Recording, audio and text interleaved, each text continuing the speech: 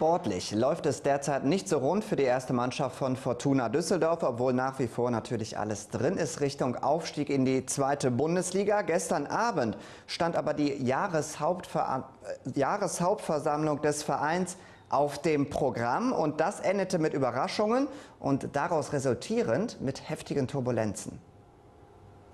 Um kurz nach acht gab es den großen Knall. Dr. Reinhold Ernst trat überraschend als Aufsichtsratsvorsitzender der Fortuna zurück.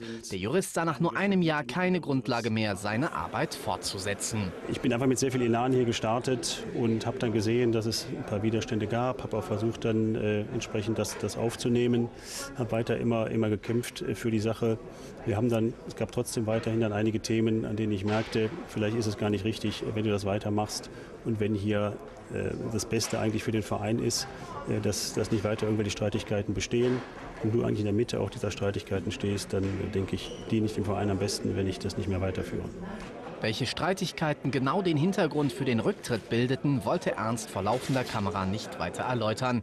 Die Reaktion der Mitglieder auf den Rücktritt war eindeutig. Für viele von ihnen war es ein Schock. Einige skandierten Vorstand raus oder verließen den Saal. Dr. Reinhold Ernst wurde für seine Leistungen mit stehenden Ovationen bedacht. Es war äh, überwältigend. Das hat mich sehr, sehr berührt. Ich muss sagen, das, äh, ja, das konnte ich nicht ansatzweise erwarten. Ich bin hier ein Jahr, ein Jahr tätig, ähm, habe alles versucht, aber das ja weitgehend im Hintergrund.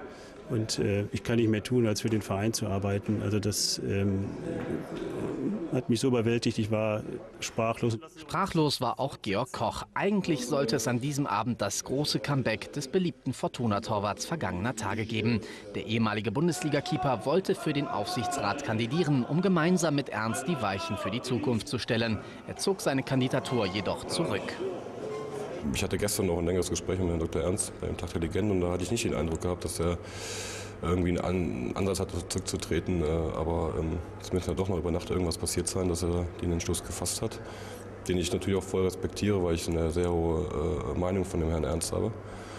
Ähm, ja, für mich ist das natürlich, ist natürlich unser Kartenhaus, weil ich mich in der Presse natürlich auch vorher ganz klar positioniert habe zum Herrn Heinig und zum Dr. Ernst. Ist natürlich unser Kartenhaus zusammengebrochen und somit habe ich natürlich auch keine Situation oder keine Möglichkeit gesehen, äh, zu kandidieren. Ob es in absehbarer Zeit doch noch eine Zukunft für Koch bei der Fortuna geben wird, ist noch unklar.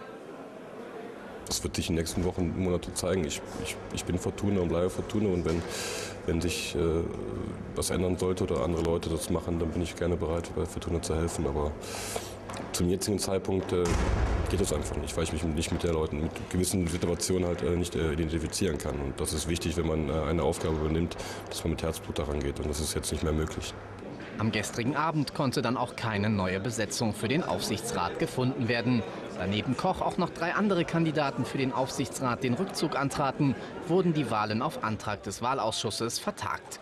Über die neue Zusammensetzung des Gremiums soll nun in einer außerordentlichen Mitgliederversammlung abgestimmt werden. Wann diese stattfinden wird, ist indes noch unklar. Die Tatsache, dass Vorstandsmitglied Hermann Tecklenburg und Aufsichtsratsvize Heinrich Pröpper von der Versammlung nicht entlastet wurden, geriet nach den vorangegangenen Ereignissen zur Nebensache.